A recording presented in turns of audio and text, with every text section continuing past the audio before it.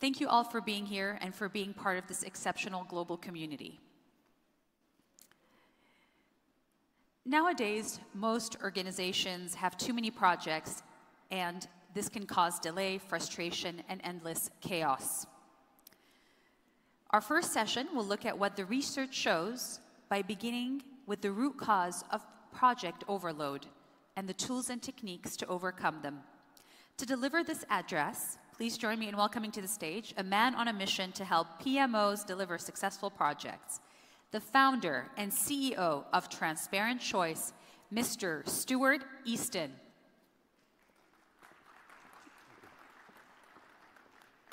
Good morning. Since I'm first up, hear me. Someone wave at me. Let me know you can hear me. Brilliant. Thank you.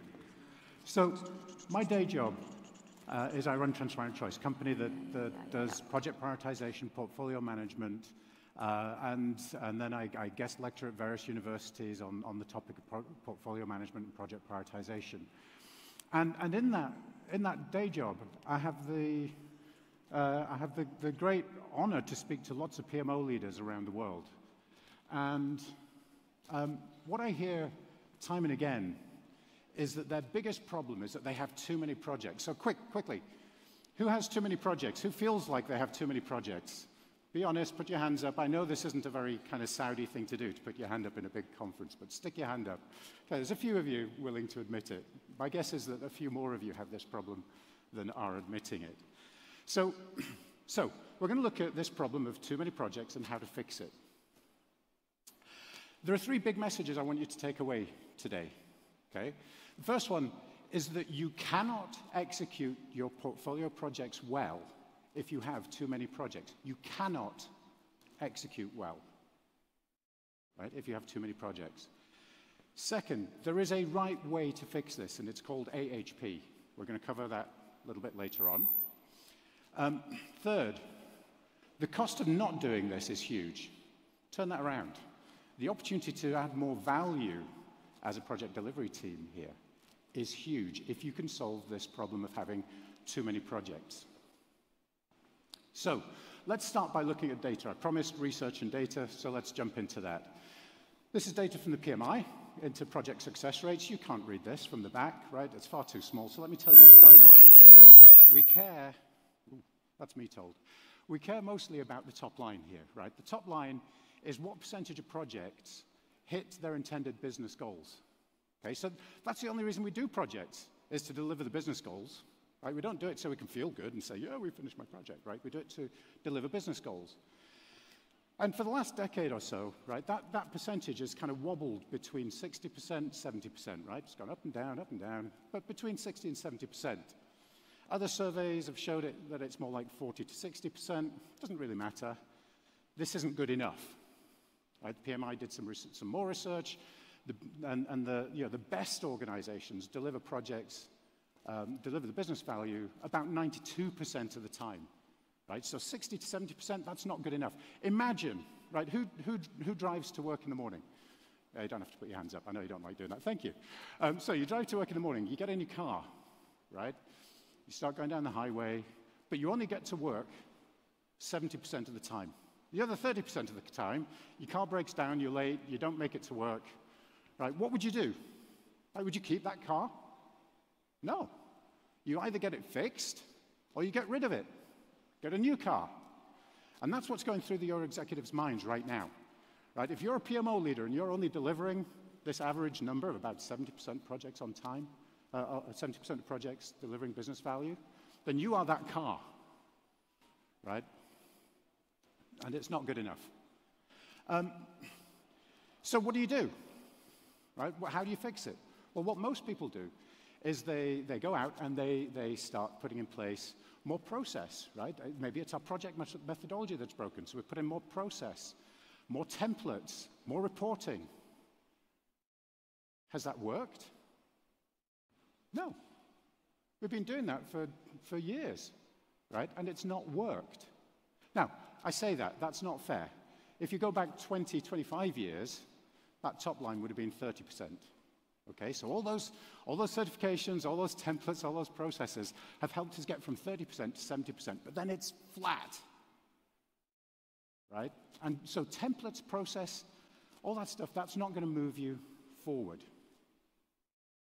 So, um, so and, and worse than that, it moves you backwards.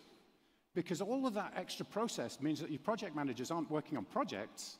What they're really doing is they're filling in your templates and writing reports. Right? And they're not doing the actual work. So it makes it worse. And so most PMOs are actually seen as bureaucratic organizations. Right? Around, and this is around the world. And, and, and, and a lot of them are called into, pro, into uh, question by the senior leadership team. Right? What are you for if you're just adding bureaucracy? So let's look at why projects really fail right? So, so I don't know if Laura, is Laura Barnard in the room? I stole this, there she is, right? So I stole this slide from Laura. Um, I don't know if anybody saw her talk yesterday, it was brilliant. Um, but this is, what we're going to do is we're going to go through and just ask why. Why, why, why, why? Why do projects fail? So your project's taking too long or they're failing. Why? Well, the project managers must be useless, right? So we go and we talk to the project managers and we ask them why. It turns out they're not useless, they're actually really good. So, and why? Well, because the resources, the delivery resources, aren't delivering what they said they would deliver. So you go to the delivery resources. Why? Why aren't you delivering?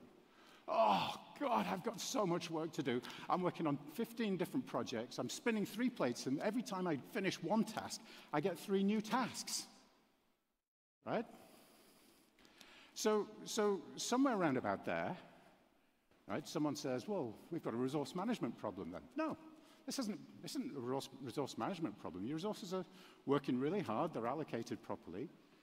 Right? This is fundamentally a problem that, that there's just too much work for those resources to deliver. Why? Why is there too much work? Because prioritization is broken. Right? So the fix is to fix prioritization. So we're going to look at how to do that. Um, so in concept, in principle, project prioritization is easy. Five-year-olds can do it. Right? If you show a five-year-old this picture and say, or offer the, offer, you know, put lots of lollipops on the table and say, you get to pick two lollipops. Which two lollipops are they going to pick? The big ones! Right? Of course they're going to pick the big ones.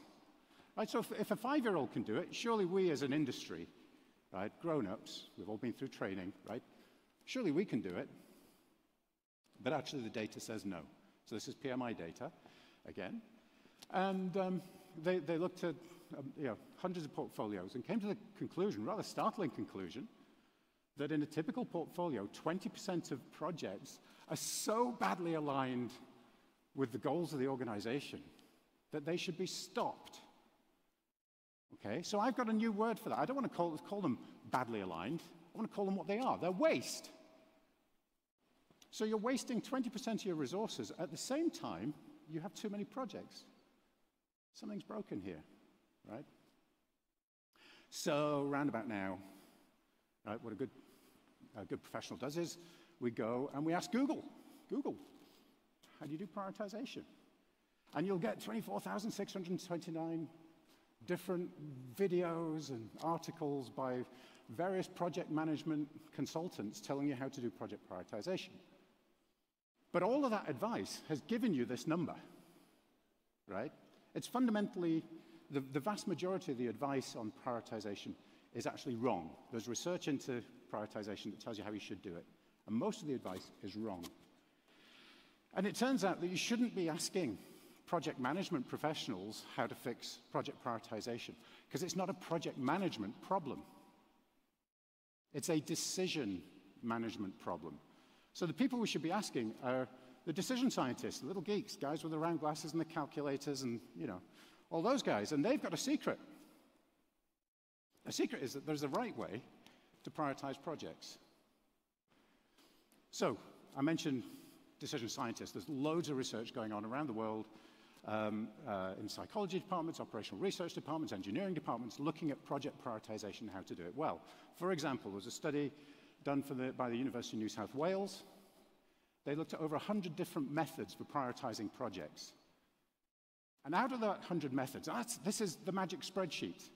It's comparing it with the priority matrix, uh, MoSCoW. Pick your favorite methodology that you'll have heard of from, from from a project management consultant somewhere, right? They looked at all of those methodologies, and out of them, only two were found to be suitable to prioritize projects in a large organization. And I'm talking about, in this particular study, just large organizations. So, uh, and that's probably everybody in this room, frankly. So those two uh, are called DEA, Data Envelopment Analysis, which is actually quite difficult to do, so we don't recommend that. The other one is called AHP, Analytic Hierarchy Process. And that, that's actually conceptually very simple, and that's, that's why we recommend it. It works, and it's simple. So AHP, in concept, is super simple, right? You take your business goals, your strategy, you convert it into a set of criteria, you weight those criteria, and then you score projects against the criteria. You look at some pretty pictures, and you make a decision, right? It, it's simple. It's kind of obvious. It's what you would do in a spreadsheet. It's how you do it that's different, though. So AHP has got embedded in it all kinds of um, psychology capabilities. You use pairwise comparison to reduce bias and to reduce um, uh, game playing and all this kind of good stuff. So it's how you do this that matters. And, and AHP has a lot of um, checks and balances built into it to make sure that you get a good result. And a result, crucially, that your leadership team buys into. Okay? So the output of this AHP process is a scored list of projects. So every project has a score 0 to 100, say. 100 being good, 0 being bad. So then there are a couple of ways that we recommend you visualize that data to help make good decisions, right? Because data itself isn't very useful. We want, we want information, not data, right? So the first visualization that we talk about is this kind of prioritization matrix. So you have value going up that way, you have costs going that way, and the best projects are up in the top left there, the stars, high value, low cost projects. We're going to do those, right? Those are great. We're going to do them. Down in the bottom left, we've got low value, high cost projects. What are we going to do to those? We're going to kill them. Now, people often say to me, Stuart, we never kill projects. It's too political, it's too difficult. When you go through AH, the AHP process, because the executives buy into it so much, right, they own the process. When they see projects in that bottom left corner, they just kill their own projects. You don't have to do anything. They kill them, right? So this is great. So, and, and, and then we can talk about Rolls-Royce projects, which are really high value, but maybe not good value for money because they're so expensive, right? So, so that really exciting project that everybody's excited about, maybe we shouldn't do it, right? And backpack fillers are great just for, you know, filling up, the, filling up any little spaces that you've got left. The other visualization that I always recommend is, is the efficient frontier, sometimes called the Pareto chart. And so here what we're doing is we're looking at the whole portfolio and we're looking at the value delivered by the portfolio as you increase budget. If you, if you selected the most efficient portfolio projects at every step. So this is really, really powerful because it means, let's say you've got a $100 million to spend, you just look along that bottom, bottom axis, you come to $100 million, you go up the dotted line and across, and, and that tells you everything inside that rectangle. That's the most efficient way to spend $100 million. We don't need to spend six months debating it. We don't need politics behind closed doors arguing about it. You just read it off a chart. Data driven, it's simple. So these are, these are the bread and butter visualizations that really, really help when you're prioritizing uh, projects. And my advice is keep it as simple and as clear as you can. Now, at this point, somebody normally says, Yeah, but Stuart, you know, spreadsheets are free. Why don't we just use a spreadsheet? Right? We've all heard that one, right? And um, so I'm going to challenge that. Right? Those spreadsheets that everybody's using today, they're giving us 20% waste. So if you're investing $10 million a year in your portfolio, right, that means that $2 million of that investment is waste. But it's worse than that because you expect to make a return on your investment. Laura talked a lot about this uh, yesterday, right? You expect to make a return on your investment. So let's say you're expecting a three times return. So you're not, lose, you're not wasting two million. You're losing out on $6 million of value every year. So that spreadsheet is not free. That is one expensive spreadsheet. And I wouldn't want to be the person trying to defend using a spreadsheet that's costing the organization $6 million a year. Make sense? So, this is great. We've figured out how we can reduce waste, pick the portfolio that's most impactful, get the right number of projects. Presentation's done, right? No, there's a bonus. Because when you do this, when you right size your portfolio, something else magical happens. I'm going to share with you now. So, imagine a road. Okay, the goal of the road is to get people from A to B, right? You put them in cars and they get from A to B. Your projects are the cars, people are the business value, the road is your resources for delivering, okay? So if you have no projects, nobody gets from A to B. There are no cars on the road. That's not very useful. So what do you do? You put some cars on the road. You do some projects. And the cars are zooming along full speed. Still loads of road left. So we put some more cars on. And then we put some more cars on and more cars on. Just like you do in Riyadh, right? Two in the morning, the roads are clear. But you add more and more and more cars, what happens? Eventually, you get to 100% utilization. Yippee! We're utilizing our resources 100%, but we've got a traffic jam. Right? Projects collide, you have resource contention, that's a real problem. So converting this, okay, this is a fun example, but convert this into projects. So the vertical axis here is the business value you actually deliver. Right? So how much value is flowing through? How many projects do you finish that deliver business value? Right, so you add more projects. If you have low utilization over at this end, Right? You add more projects, you deliver more value, more projects, but eventually you get resource contention and other things kicking in, and suddenly, boom, your productivity drops off really quickly. Usually happens around about 80, 85% resource utilization. But most organizations, they're right over here on the left-hand side. And when executives are getting frustrated and they say, we need more value from the PMO or from the projects, right? And they see you've got 10 or 15% of your resources not utilized, what do they say? Fill them up, give them more projects. But that just makes it worse. That slows your projects down and means you deliver less value. So, what you have to do is come back and position yourself on the top of the hill. Reduce the number of projects, put yourself on the top of the hill, and you will increase the flow of projects and the flow of value. So, you put in place your AHP based prioritization. Okay? It's a higher hill, first of all, and then you put yourself on top of the hill. Right? So it's a higher hill because we have less waste, and you put yourself on top of the hill. And when you look at how much business value you're going to deliver, right, it's a lot more value that you can deliver from the exact same resources. And when you combine this with techniques like uh, staggering projects and, and all that kind of good stuff, it's, it's quite common to see two or three times more flow of value from your projects than before you do this. Okay? Two to three times more value from the exact same resources. Right? Wow. That's, that's pretty big impact. And all of this stems from asking, right? So most people, when they think of too many projects, it's just a pain, right? Oh, there's so much work, too many projects. No, that's the wrong way to think about it. It's about the wow. You can fix too many projects, you can deliver the wow.